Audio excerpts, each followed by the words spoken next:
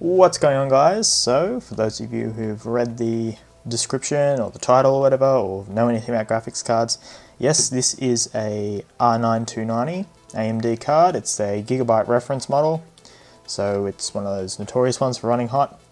And yeah, it's a, what is it, a 4 gigabyte card? I don't know. I don't know much too much too much about AMD cards. I've just been googling about this while I've been waiting for it to arrive. I bought this on eBay for $41 um, and yeah, it was sold as faulty. Uh, I had burnt caps apparently, according to the listing. Now, I've already looked at this. I had to take the cooler off just to make sure it was all there and it wasn't just a big bag of sand or something. And man, this thing's heavy. This is like super heavy compared to my um, 550 Ti. Like this is, this is like a brick and it's huge, which is why I, I got a new case, which is actually the video before this one, which I haven't finished recording yet, but I don't know. It, just ignore that. It's a secret. Shh. Anyway, so I've already taken off the cooler, and remember he sold this as burnt caps. So I'll take off the cooler, and you know, like the first thing you notice is it's a bit munged up. I think he might have had this water cooled or something, but the the uh, vapor tube, whatever it's called there, just the heat sink there, looks okay. Not puffed up or anything, so the actual heat sink looks like it's still functioning which is handy. Um, but the uh, main problem is this. I'll see if I can hold this up to the camera. Now the board looks like it's physically in okay shape. Um, the main problem is a lot of the board's got corrosion on it, which is strange, but uh, being on the coast, it's that's sort of expected. Uh, not, not the real issue. Um, the real issue is just he didn't say anything about it in the listing. Oh, kind of annoyed me. I know I got this card dirt cheap, but I would have sort of avoided it if it was sold as that. Um, yeah, anyway. So it's got this really crappy thermal paste on it. That's the stuff you get on eBay for like 50 cents. It isn't really even thermal paste. It's, it's horrible stuff. It has like no it doesn't work. It's crap. Don't buy it. It's it's just grey. It looks a bit like Arctic Silver kind of in the photos, but it's not. It's just grey. And anyway, you can't really use conductive thermal paste on this anyway because it's got the uh, it's got all these smaller components around there. They just look like capacitors or something. Um, and yeah, it's not potted or anything, so you're gonna have a hard time if you put conductive stuff on there. Um, yeah, the board, yeah, as I said, it's in fairly okay shape. This um, looks like a VRM or something here. Looks a bit funny, it's a bit twisted. That might have just been from the factory. Uh, the edge connector, luckily, is okay. I was kind of worried because it just came in like a bubble bag with nothing really wrapped around it. Yeah, I put my finger in that crap. And the bottom of the card, some of this isn't corrosion, some of this is just um,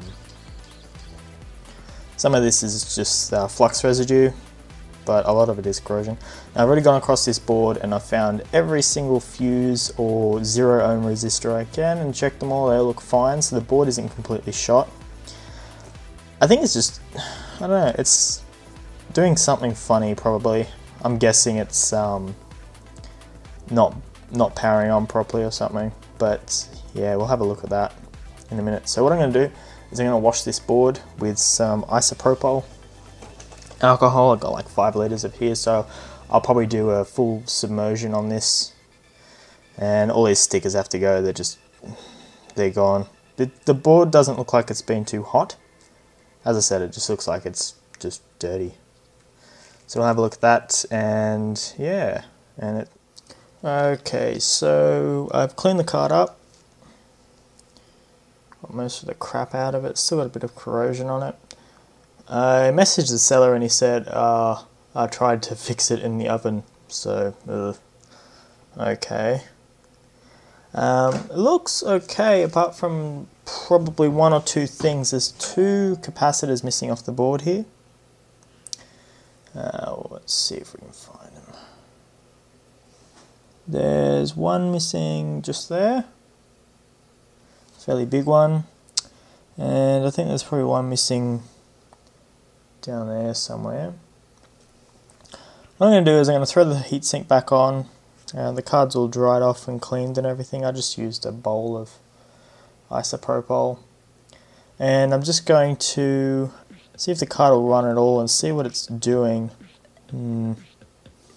Not looking good. Anyway, I'll be back in a minute. Okay, so I've got the new card in the computer. And I can't run it for very long because I haven't put any... Uh, the thermal pads for the VRMs were completely gone, so I don't want to run it too long. Uh, so yeah, let's see what happens. It's got a blue light.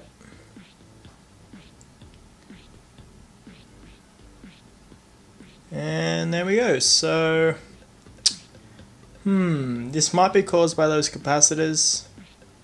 Maybe, but this seems more like a um, uh, memory issue. Hmm.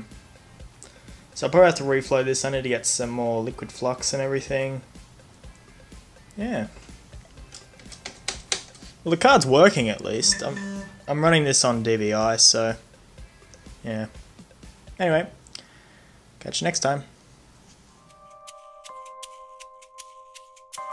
Hi guys, thanks for watching my video. If you haven't done so already, please subscribe, it really helps me out. Also, you can find me on Twitter and on my website. I'll put the links in the description. Thanks again, and I'll see you in my next video.